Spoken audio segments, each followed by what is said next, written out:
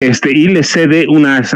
espacios en el poder y nace, tiene razón, el PRIAN y el país, digo yo, se jode este, porque adoptamos un, un modelo que lo, habíamos, lo había adoptado Miguel de la Madrid, eh, el neoliberalismo, y caemos en esto que estamos. Así que tiene razón, pero y en ese contexto, Manuel, tú que lo sigues también, entonces, ¿qué tiene que hacer Claudia? Porque dice, decimos, ya ganó, tiene sesenta y tantos por ciento ah, en las encuestas, cualquier cantidad ah, lleva sobre Xochitl Galvez, pero yo digo, de pronto también las encuestas son engañosas, las elecciones se ganan con votos y no se pueden descuidar. Necesita el país el plan C, ah, necesita una presidenta muy sólida. Este, no tengo duda que va a ganar Claudia, pero caer en el conformismo, ah, pues vamos a ganar. ¿Qué necesitan? ¿Qué tienen que hacer este mes que es intercampañas? Pero a partir de marzo, ¿cómo tiene que funcionar esa maquinaria de Morena que gobierna como una veintena de estados? Bueno, Paco, este, tú mismo lo, mencionas, ¿no? La, en parte de la pregunta va la, respuesta. Mira, eh, coincido totalmente con, eh, con César, vampiro, por cierto, también un gusto coincidir con él por primera vez, me había tocado verlo opinando y, este, y bueno, pues hasta ahora nos toca estar juntos. Eh, y en realidad yo tampoco tengo duda respecto de las posibilidades que tiene Claudia de, la victoria. Es, sumamente, independientemente de todo, tendría que hacer algo muy bueno Xochitl Gálvez, combinado con una gran caída que evidentemente no va a suceder. La, eh, la campaña de Claudia Sheinbaum es una campaña inteligente, es una campaña mesurada, es una campaña alejada de las bravuconerías, de las payasadas, es una campaña seria, profesional,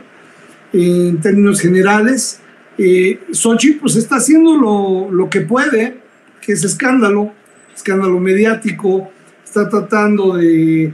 pues de ver la manera de acercarse de la única manera en la que sabe, porque, perdón, pero es una mujer sumamente limitada en sus capacidades, por más que ella haya asegurado que es eh, la mejor ingeniera de México, pues la verdad es que como, al menos como política y como legisladora, es sumamente limitada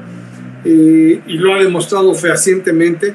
con todos y cada una de sus pifias. Entonces, este, yo no, no, no vería, no contemplaría cualquier, ninguna posibilidad de que lo alcanzara. Entonces, con que Claudio Sheinbaum se mantenga eh, en la misma línea en la que está, eh, por supuesto, sin confiarse, porque, porque es un ejercicio que tenemos que hacer por nosotros mismos, por la misma campaña, por no quedarle mal a la gente, por no dejar de esforzarnos. Pero evidentemente, como lo hemos consignado en, en diversas ocasiones, eh, aquí mismo Sin Censura y que también lo comentó ahorita César eh, López, pues lo que tenemos que hacer es apostarle al tema del plan C y el plan C, como también lo mencionaba hace rato, pues está en, en conseguir esa gran mayoría en el Congreso que nos permita operar eh, este, esta segunda parte de la cuarta transformación, en este segundo piso, como le han llamado, y este, pues simplemente eh, mantenerse